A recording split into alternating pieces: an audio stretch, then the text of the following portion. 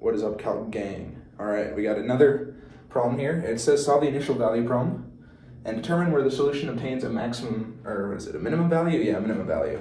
Okay, how are we gonna do this? Well, let's go ahead and just solve it. For the general solution, then we can find the particular solution, and then we can figure out where the minimum value is. So what I'm gonna do here is I'm gonna divide, I'm gonna factor out y squared. We wanna get the y squared, or the y's and x's on opposite sides, basically. So this is gonna be y squared, obviously two plus x, and we can divide by y squared. I'm gonna write this also, dy dx, because I like it more like this, for this method at least. So then, of course, we're gonna uh, move this over. So one over y squared dy is equal to two plus x dx. Then if we take the integral of both sides, whew, I'm gonna have to think about this one. I always hate when I get this. Okay, so what, what, what derivative would make it? I think it's one over, I think it's just negative y to the negative one, right? As equal to, I'm gonna check that. Yes, I did get that right, okay. It's kind of confusing, I always get this stuck up. You can also write it as negative one over y, that's probably easier. Um, integrating this, so uh, yeah, that's pretty simple. So it's gonna be two x plus one over, uh, one over two x squared plus c, of course. I'm gonna go ahead and multiply both sides by two just to make it a little simpler. So negative two, over y is equal to four x plus x squared plus c. c stays the same. Okay, how are we gonna do this? Well, we kind of have to, let's go ahead and, uh, that's funny, I don't know why I did that actually.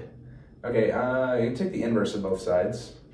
So negative y over two is equal to one over 4x plus x squared plus c, and then multiply by negative 2, so y is equal to negative 2 over x squared plus 4x plus c. Great. Uh, that's right? Yeah, that's right. Of course it's right. Okay.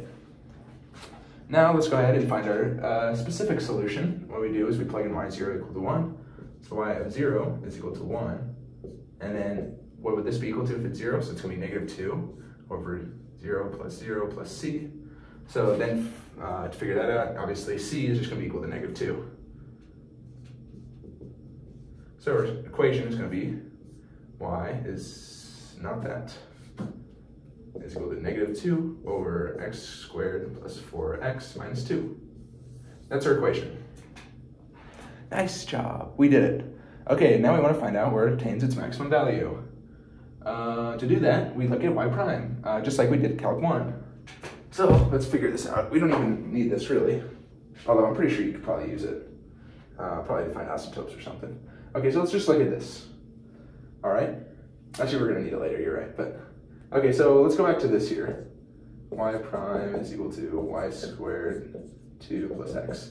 So of course you're gonna know where a maximum or minimum value is by finding where the derivative is equal to zero. So that means that y is equal to zero, is either is a point or x is equal to negative 2. Okay, so what happens when we do y is equal to 0?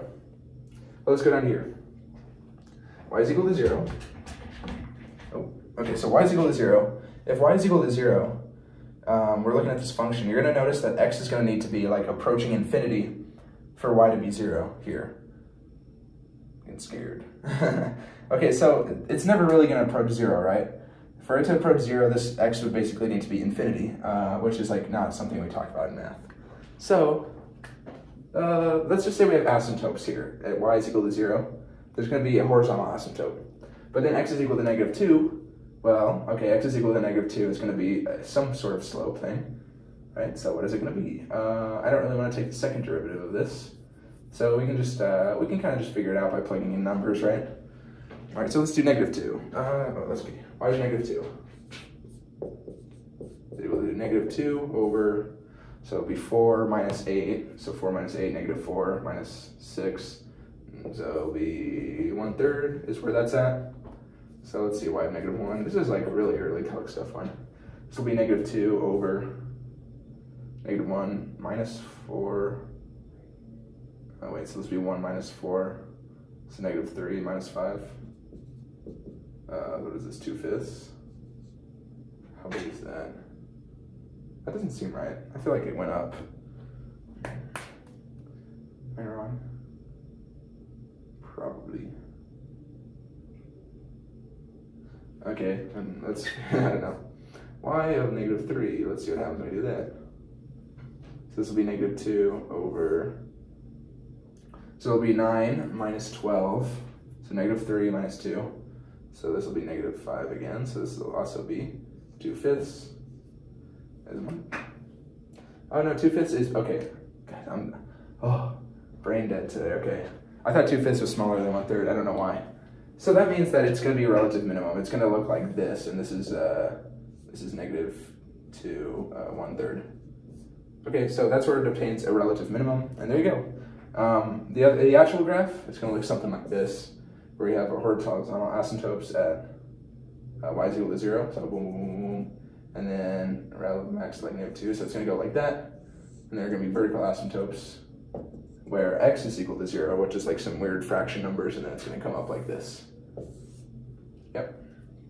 All right, so that's how you uh, solve this kind of problem. That's how you find relative min. Yeah, so I hope you guys learned something. Stick around for some more uh, differential equations. Some lady just looked at me.